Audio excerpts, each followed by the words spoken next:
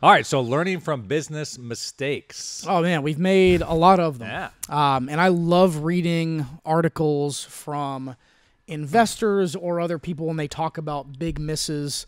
Um, I think there's some infamous big misses that you can think of. Warren Buffett and Google, right? yeah, Warren Buffett and Google. Uh, Time Warner AOL merger was a huge business mistake.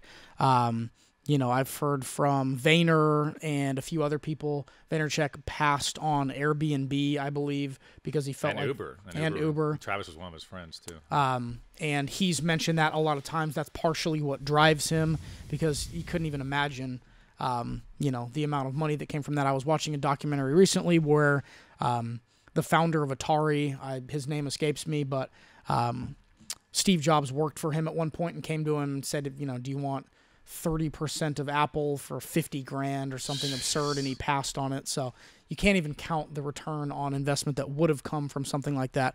Uh, so I think it is. It's kind of helpful to go back and look at past business mistakes. And yesterday we were having a conversation where we were looking back towards all the employees that were here and for the people that did leave, why they left, and in certain circumstances, um, Essentially, the every employee we've ever hired who who got fired, who left on their own, right. who's still here, obviously. Um, But in looking back at that, I think that there was a couple things that I saw where we recognize now we do things differently because of those experiences. Yep. Um, and then in talking with one of our new biz dev, biz dev hires, talking about some of the packages that we offered in the early stages of our company, that was a business mistake that thank God no one said yes to because it really would have been hard for us to keep up with. So um, I kind of wanted to just wrap back and forth a little bit Well, on one- some of what we thought were mistakes. One, just to be completely transparent, I think the first NBA team we pitched, thousand dollars a month, and we were trying to do a year deal, lock them in, Yep.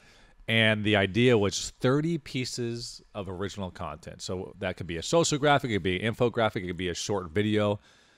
But for thousand dollars, you would get thirty pieces of content. And which- at that time, We articles, written Yeah. articles, was still part of that. so you can have us interview somebody and transcribe the article. So we could have been on the hook for an article a day every single day for a thousand dollars. But this was when there was what you know, three people, just the owners of the company were there, um, and we're trying to just get our first couple deals. But we look back at those situations like, well, if four and the Houston Rockets, no disrespect, but bad job by them. I mean, they would have been in uh, in gold mine there for a year. Yep. because that would have been a lot of cool content, one per day essentially every single month.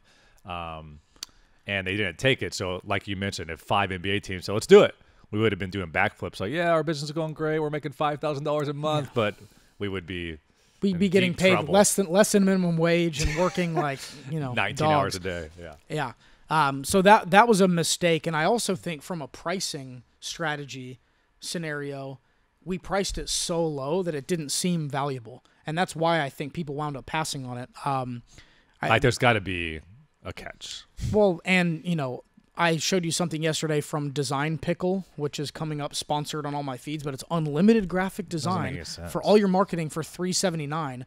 It's like you know it's going to be garbage. It has to be because there's no way to get good stuff for that cheap. Or there's like, you know, some catch, 96 some hour SLAs or something, Um, so yeah, so I think you know a couple of the topics that we touched on yesterday was one of the mistakes we made early is when we hired people, um, we really didn't have a clear expectation or list of job roles and responsibilities. yeah, like when you start this job, here's what we expect from you, and this is how we'll consider you being successful in the role.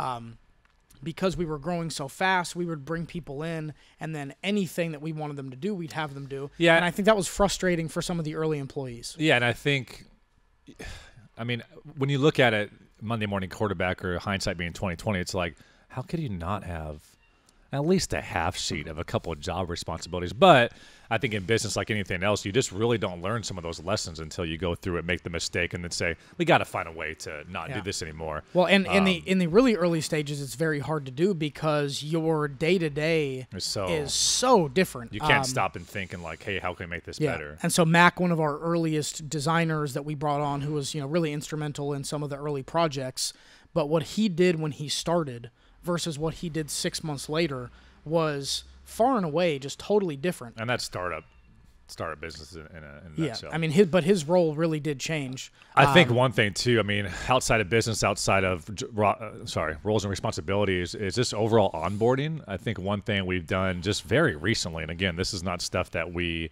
are so smart and we think of it ourselves, but just like welcoming a new member to the of the team.